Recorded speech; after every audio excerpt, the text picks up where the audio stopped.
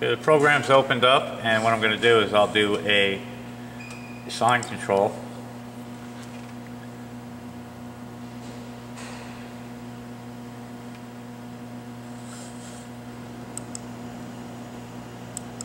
I'm going to open a profile. I have it saved under profile for Cal profile.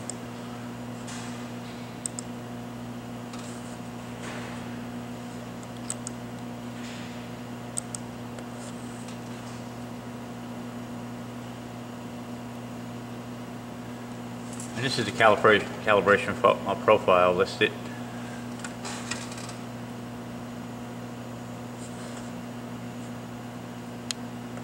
Now we don't have an accelerometer attached, so what I'll do is I'm just gonna run it in manual mode for now.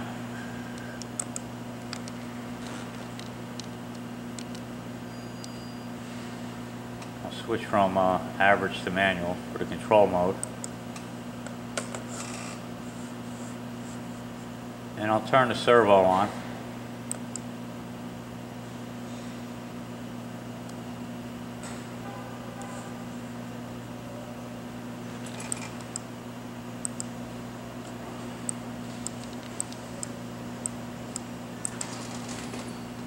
Now if you come over here and you look at the uh, shaker, you'll see that it's moving at 5 hertz. You see that the, the uh, shaker is moving. And what I'm going to do is I'll manually increase the frequency just to show that the shaker is working.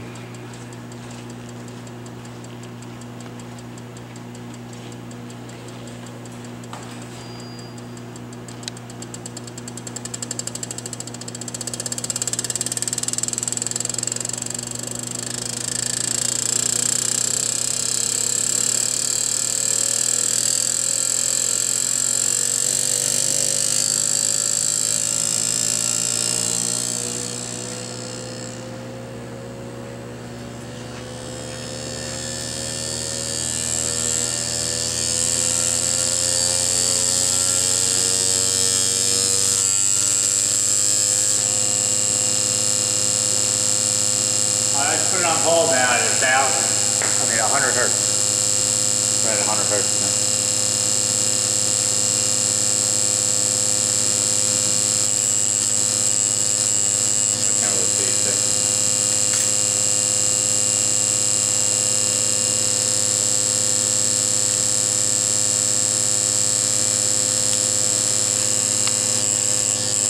What. It's just vibrating very slightly. Like I said, there's no accelerometer with the system. You'll have to add your own.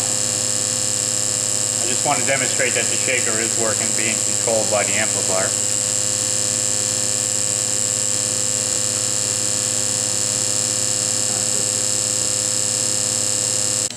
All right, I'm still in manual mode, and here's the frequency we have set here. I'm just going to hit stop. What I'm going to do is go back to uh, test run. Go to the lower limit. Control mode, I'm going to go back to average. We're going to control with channel 1. And in the help menu, you can go to help and hit online help. There's a calibration procedure here. And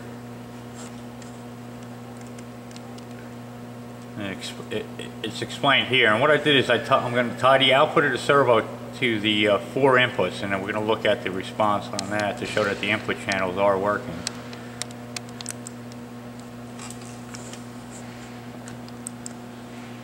Okay, we're going to view channel one, two, three, and four.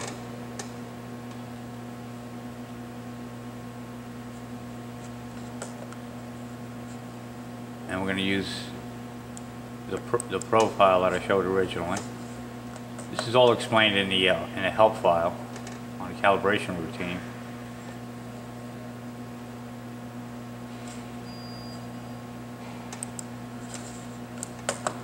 Now for the inputs, we have the uh, sensitivity set to 10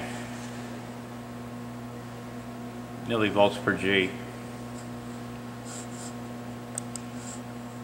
And what I'm going to do is I'm, I'm I'm gonna slightly change each channel, so we'll at least be able to see the uh, different colors up on the screen, otherwise they're superimposed. So I'll just change this to nine. Channel two, I'll change the sensitivity to nine. Channel three, we'll go to eight.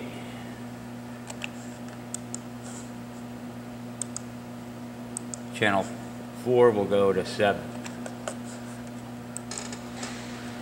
Okay, we'll come over here and I'm gonna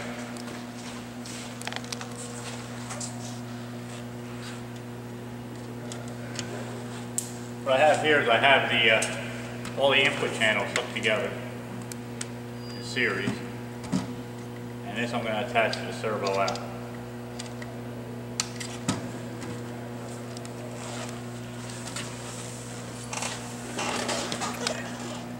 So I'm ready for my calibration test.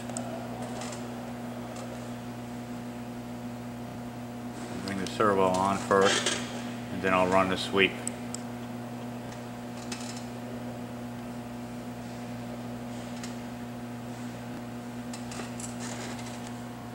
The brown's a little hard to see, but you can see the four channels, the response.